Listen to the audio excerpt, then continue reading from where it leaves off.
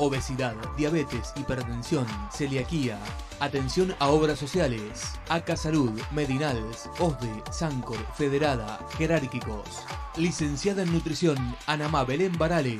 Turnos al 3468 52 46 66.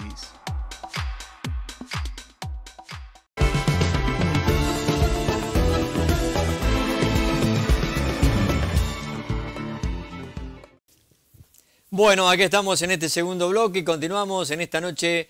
Ya vamos a estar con el juego, con eh, las lanas, con lo que pesan los botones. Vamos a saludar a Pedro, a Mateo. Todavía no lo hemos hecho porque tenemos entrevistas. Yo les dije que hoy va a ser mucho trabajo y hoy tenemos un invitado especial porque eh, acaba de ser reelecto como presidente de la Federación Cordobesa de Fútbol Así que mis felicitaciones a José Luis Di Benedetto. Muchas gracias por venir, por llegarse un ratito hasta acá, para hablar de lo que ocurrió cuando eh, estuvo el presidente de la Liga de Canals antes de las elecciones y nos había pintado un panorama bastante complicado, ¿no? Con un viaje a Buenos Aires, con eh, un candidato que se había plantado como para ganar.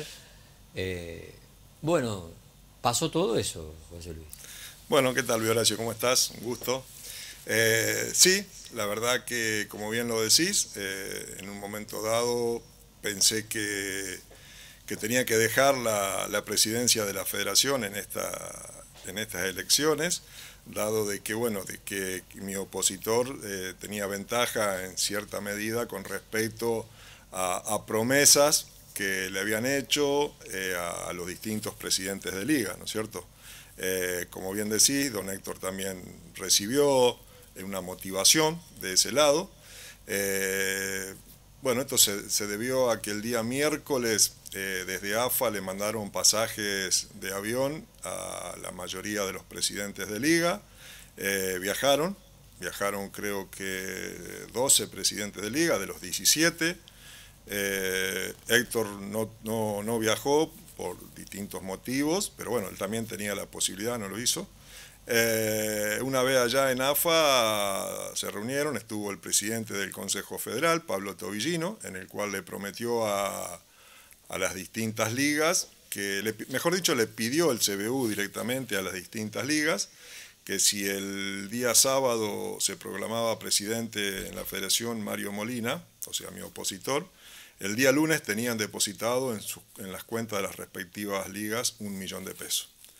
Ante eso, la verdad que la situación que veíamos, el panorama que veíamos con, algunos eh, que me acompañaban en esta, en esta trayectoria, lo veíamos eh, bastante difícil, ¿no es cierto? Debido, Ahora, eh, lo que me está contando es muy llamativo, ¿no?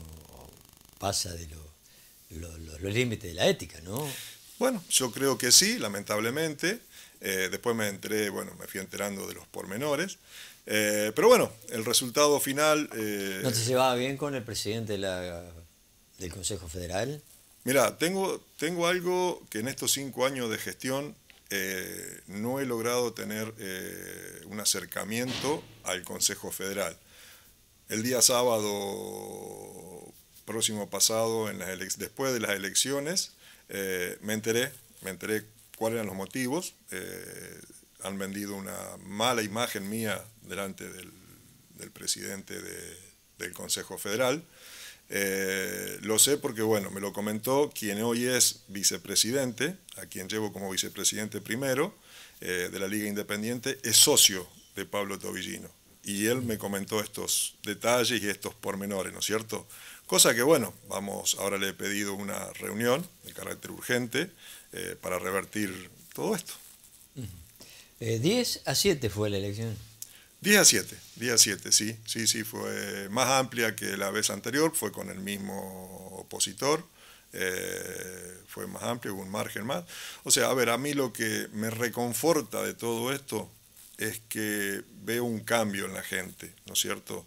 que, que, no los compran, o sea, no le compran el voto. Eso fue lo importante, porque ante lo que te estoy contando, y de los cuales habían viajado 12 presidentes, más como te lo dijo, y te lo dijo don Héctor también, y me, hizo un llamado por teléfono el viernes a la noche, Héctor Beneito, en el cual me comunica estos detalles, eh, que había recibido un audio de, Pablo Tobillino, eh, invitándolo bueno, a que concurra o a, bueno, a, que, eh, a que sea parte también de, la otra lista. lo cual me alegra mucho, me alegra mucho porque hoy las ligas están necesitadas de ese dinero, ¿no es cierto? O sea, la liga ese dinero no les viene mal, lógicamente, pero que hayan priorizado otros, eh, otras prioridades antes que, esa plata, eh, a ver, te, te pone contento. O sea, no es porque sea mi persona, eh, no es porque sea yo el, otro, el candidato del otro lado a quien le han votado, sino porque avalan un proyecto que lo venimos realizando desde hace cinco años y dejaron de lado lo otro. Eso es lo que más me satisface y me pone contento eh, cuáles fueron los motivos los cuales me expusieron por el cual me, votaron. Eh, dos temas, una de antes y una de, para después. Eh, ¿Qué piensa que, que, han opinado, se han ensamblado los presidentes para votarlo por algo seguramente que ha hecho bien? ¿no? y después, ¿qué proyectos hay en futuro? Pero, ¿cuál es la principal eh, obra desde su gobierno? ¿Unir a todas las, las ligas? Bueno, ¿será una de esas? Esa, esa fue eh, el principal, pero bueno, mira, yo te comento, eh, una de esas ligas que volvieron a federación no me votó. Entonces, a ver, hay algo que, es también muy llamativo, ¿no es cierto? Yo creo que, y te digo lo que me comentaron, la mayoría o casi los 10 eh, las 10 ligas que, me votaron, yo creo que ven en mí una honestidad y una transparencia que se le ha dado a la federación después de mucho tiempo. Eh, a ver, en el sentido de que, bien vos lo decís, cuando yo ingresé, ya, bueno, esta parte ya se ha hablado, ¿no es cierto? Había cinco ligas que no estaban, tuve la suerte de poder, de, confiaron en mi persona para que vuelvan, porque estas ligas se habían ido por corrupción en la federación lograron, logré que vuelvan. Y después, eh, trabajando, trabajando, eh, nosotros cuando ingresamos a Federación estaba en rojo, eh, logramos, logramos sanear las cuentas y después todos los subsidios que hemos tenido han ingresado en las arcas de Federación y hemos ayudado también a la liga. Este año que ha pasado en los, distintos torneos que hemos organizado, más que nada del Sub-13 y del Sub-15, hemos ayudado con subsidio a las distintas ligas para que puedan participar, ¿no es cierto? Yo creo que esa es la base eh, fundamental por la cual nos han votado. ¿Cómo es voto secreto o cantado? No, no es voto secreto. Es voto secreto con urna. Eh, y después, bueno, lo que proyectamos para lo que viene es justamente eh, la participación con el Consejo Federal, que es la base fundamental, y bueno, mejorar los distintos torneos que, estamos jugando. Ya eh, me acuerdo de la primera nota que vos me hiciste, apenas asumí, que te dije que bueno, que era prioridad también en aquel momento. Eh, tratar de, sacar el torneo de, embalse, ¿no es cierto?, por el estado de, los campos de juego, porque ya no se podían jugar más. Bueno, fue una de, los, de las tantas cosas que también eh, cumplimos, porque el último año se jugó en Villa María con un montón de errores, ¿no es cierto? Porque, bueno, lógico, veníamos de años de pandemia, sacábamos el torneo donde era habitual habitual. pero bueno, de los errores se aprenden y creo que este año debemos corregirlo. Eh, el proyecto para este año, yo hay, un tema muy pendiente que lo hablé con Beneito, es eh, la calidad de los arbitrajes. ¿no? Eh, hay un problema, hay un problema grande con el tema de los arbitrajes que bueno lo están padeciendo. Están a, nivel nacional, ¿no?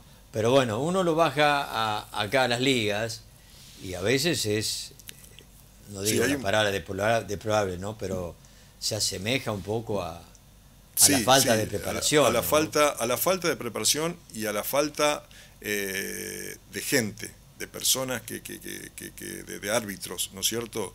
Eh, cuando piden, cuando arreglan con, con los distintos colegios eh, de, la provincia, se comprometen y muchas veces no llegan con la cantidad de árbitros que tienen para cumplir con las ligas, lamentablemente.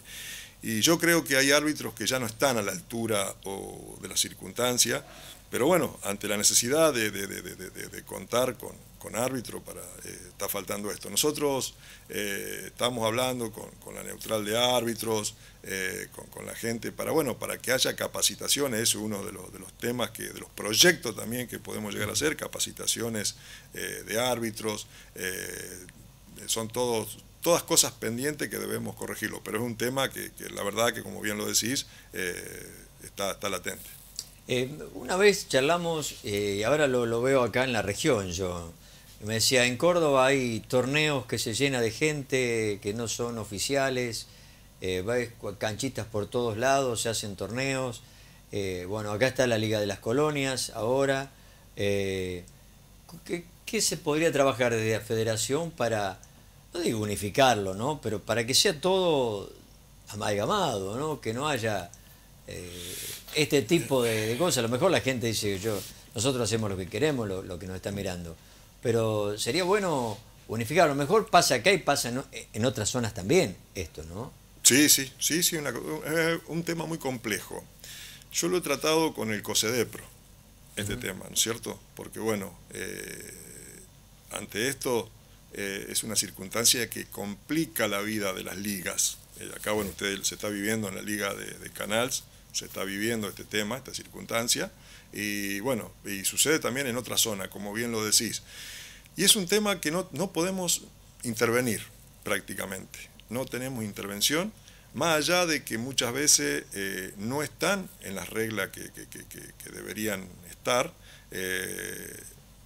es un problema para las ligas, porque como te digo, en las ligas se exigen un montón de cuestiones para poder jugar, para poder participar, y en estos torneos no.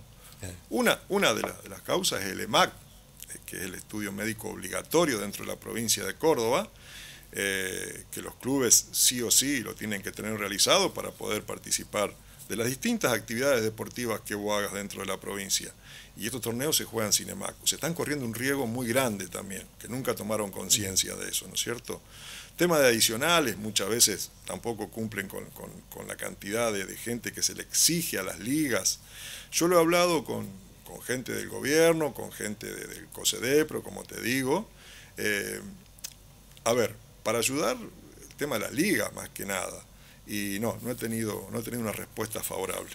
No hay, no se puede haber no, no se puede, No, no, lo que sí hay que tratar de, acá don Héctor, eh, creo que en su momento, yo estuve, yo participé de una reunión, hace dos años atrás me parece, donde bueno, había habido un acercamiento con las ligas de las colonias, donde había una posibilidad, él le daba muchas posibilidades para que ingresen a la liga eh, de una manera u otra, o sea que con el tiempo se podían ir después acomodando, o sea, no, no le exigía tantos requisitos como a los que ya estaban participando, eh, como para adherirlo.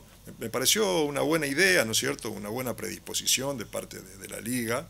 Pero bueno, no, no, después me enteré que no, no tuvo, no, tuvo resultado y quedó. Y quedó, creo que que no, no va a haber solución. Que no va a haber solución. Es una lástima, es una lástima y es un problema también, ¿no es cierto? Porque incluso cuando suspenden a algún jugador eh, por un tiempo, o sea, cuando hay una agresión al árbitro o algo así, ese jugador automáticamente se va a jugar a la Liga de las Colonias sin ninguna consecuencia. O sea, eh, no estoy en contra, no estoy en contra, pero creo que, bueno, que, lamentablemente no están o sea, en las mismas condiciones. Eh, bien, provinciales, todo organizado para fin de año, lo van a ir de, a poco, todo eso. Lo... Los vamos a ir, eh, sí, vamos a ir las próximas reuniones. La, sede de, de, la, de los campeonatos sub-15, sub-17. Sub-3 y sub-15 son, son ahora, sí, antiguamente eran sub-15 y sub-17, hoy son sub-3 y sub-15. Bueno, la sede, eh, la intención es eh, volver a realizarlos en Villa María, dado que nos ha gustado como plaza, porque está en el centro de la provincia, es un lugar eh, muy lindo incluso para, los chicos, eh, donde bueno, han tenido una linda experiencia el año pasado, y además por el estado de los, campos de juego, ¿no es cierto? O sea, han jugado en unas canchas, la verdad que muy lindas. Hoy, hoy la mayoría eh, de las ligas han mejorado lo que son sus pisos, en su instalación en general, pero sus pisos. Entonces los chicos están acostumbrados a jugar en, en canchas relativamente buenas. Y hoy por hoy Embalse, las canchas, bueno, son, fueron siempre igual, incluso cada año que pasa están peor. pero bueno, veremos, vamos a estudiar, vamos a evaluar las distintas posibilidades. Y bueno, seguir...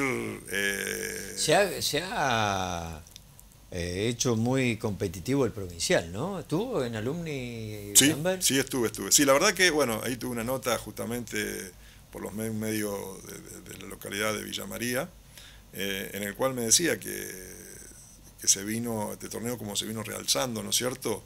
Que se ha hecho muy competitivo, se ha hecho un torneo muy atractivo, eh, que, bueno, que en un momento se habló de que el torneo provincial era un torneo sin importancia y hoy me demostraba que, que la verdad que se ha hecho un torneo, eh, como lo dije recién, atractivo, donde la gente, bueno, concurre, donde le, o sea, yo vengo sosteniendo, desde que estoy en federación, he concurrido a distintos estadios de la provincia y a medida que van superando eh, las llaves, ¿no es cierto?, los, equipos, veo el entusiasmo que hay en la gente por jugar con, clubes de otras ligas.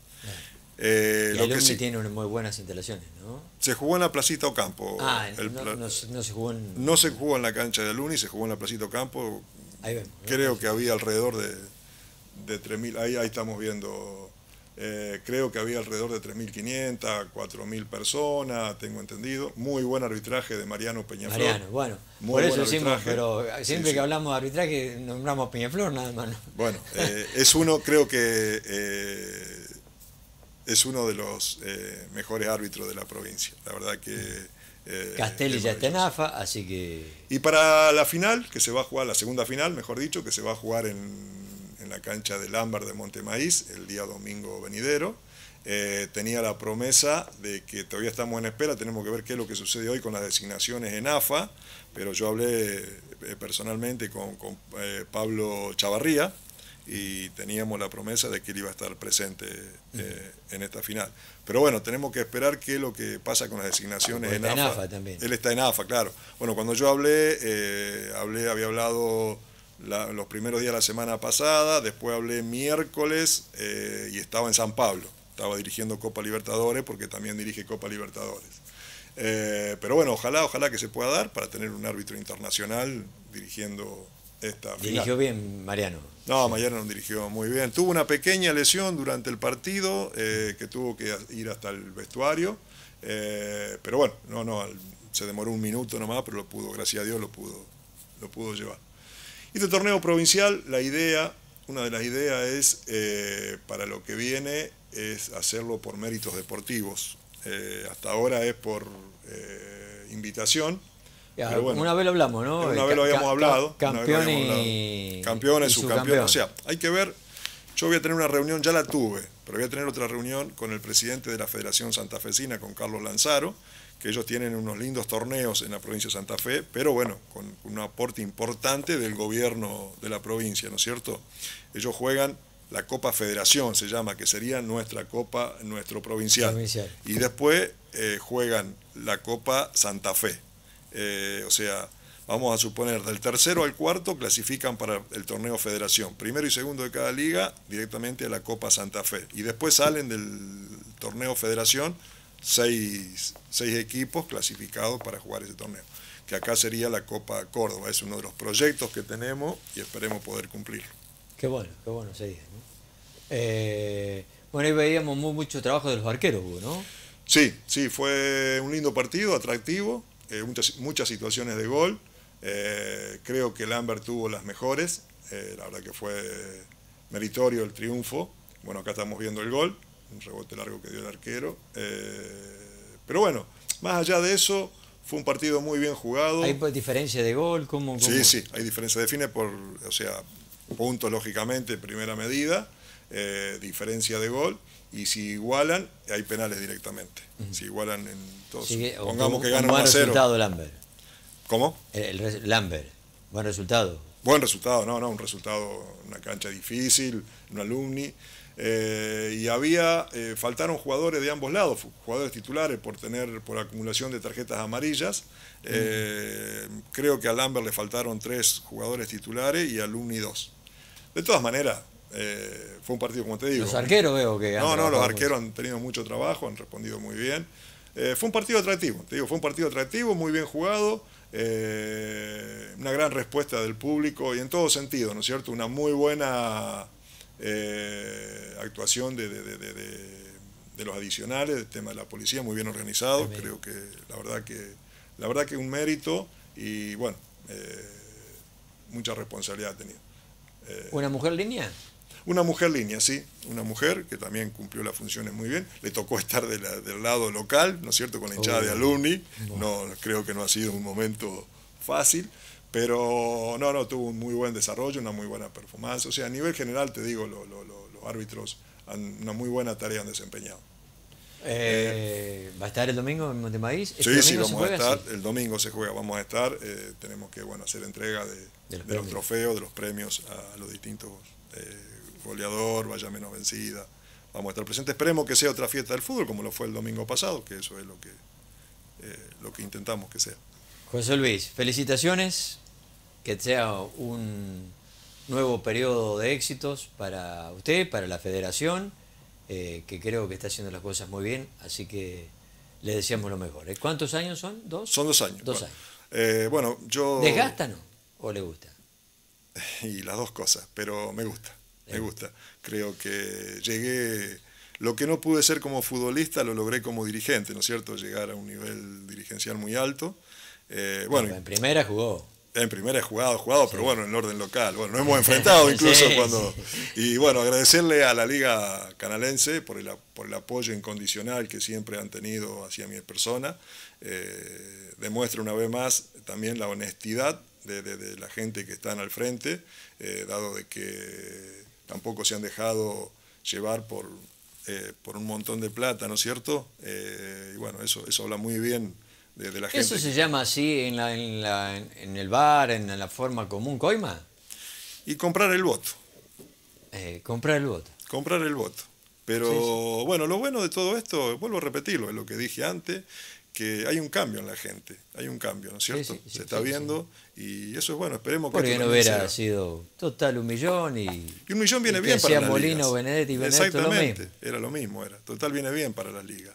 Pero te vuelvo a repetir, eh, creo que quien está al frente de, la institución, en este caso de, esta institución, o, al frente de un cargo político, lo que sea, demostrando honestidad, seriedad y transparencia, creo que, que va más allá de todo lo otro hace falta un poco. Saludar también a alguien que me va a acompañar en esta gestión también, que lo han incorporado en el Tribunal eh, de Disciplina, a Pedro, a mi hermano, a tu hermano Pedro, darle un saludo grande. Un apasionado de la, liga. me alegró mucho cuando lo nombraron y tener la posibilidad también de que esté representando a la Liga de Canals eh, en Federación Cordobesa. Gracias, José Luis. No, por favor, gracias. Buena gestión. ¿eh? Gracias. Pedro, nosotros vamos a la pausa, ya venimos, ya venimos, ya venimos.